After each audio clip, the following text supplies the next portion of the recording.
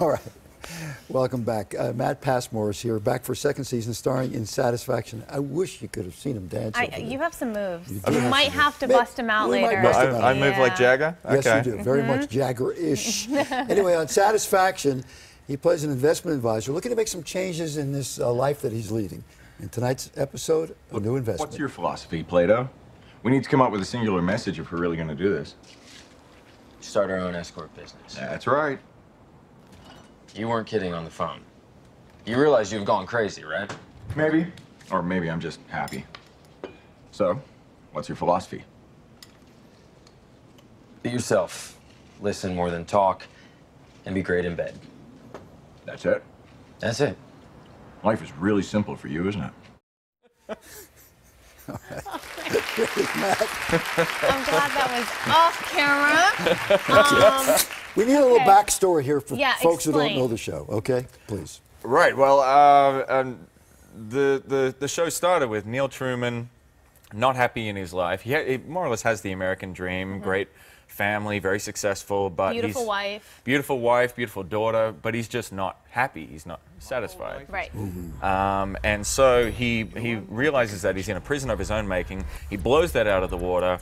Finally, uh, runs to the person that he really wants to connect back with, which is his wife, and she is Explain in it. the arms of another man. Oh, yes. Explain what happened with his wife, though. What was going on? Even after that. So uh, his wife was seeing a male escort, was paying for a male escort. So Did she know he was an escort, or did she? she knows he's an escort. was paying yeah. yes. We, we flashed back to see that six months before when she was really crying for help.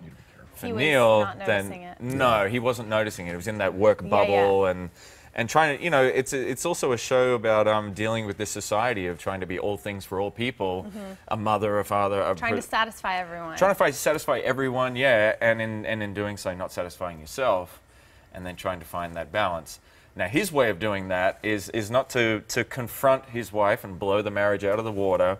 What I found very endearing is that he then goes more into himself and starts to dabble in the world of the male escort to in order to try and find out why why why did how did this happen? Why did my wife need to pay? so then for you become someone? an escort. So in fact, yes, he, he sort of he goes down the rabbit hole. Okay. Probably not the best relationship advice, but um, yeah, he's he starts And to while an some, some people would say, see a therapist. right. Okay. Uh, exactly. Yeah, go and get mediation. No, he goes and sees other women. Yeah. So enjoying the process of seeing other women, or kind of like a research project, or getting into it for, uh, you know, that's I, th- tough. I think, uh, yeah, he really did fall down the rabbit hole. I think he went into it as a research project. Right. And, uh, and realized that it's quite uncomfortable when a, a woman is meeting you for the first time and is paying for you, and then you're going, yeah, but why? Why are you? Why do you? Why do you want to do this? Um, and then, of course, you know, realizing he was falling into bed. But then, um, but he was.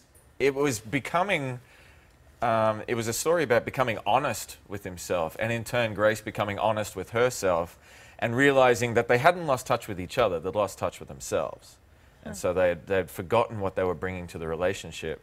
And through this very strange, unorthodox, probably you know something very morally Wrong. uh, wrong in, in, in, in all of our eyes. Um, there seem to be there's some positive aspects coming out of it, but the secrets and lies build up, and you can only sustain that for so long. right. So, what happens?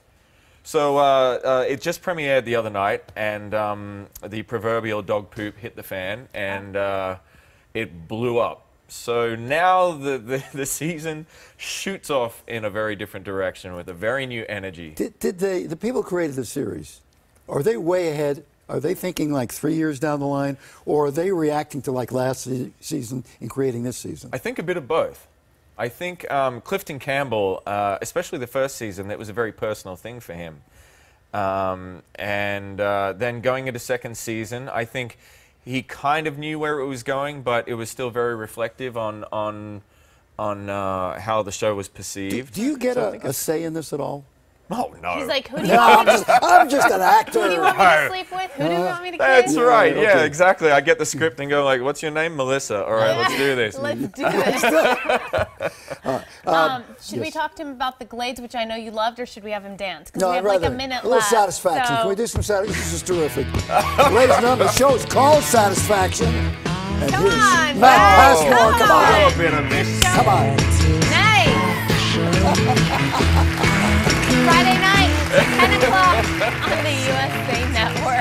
See you. Thank